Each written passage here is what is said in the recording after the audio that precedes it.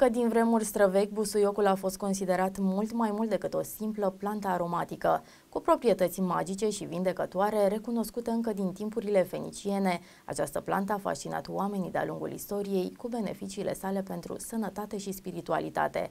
Iată ceaiul care tratează peste 40 de afecțiuni.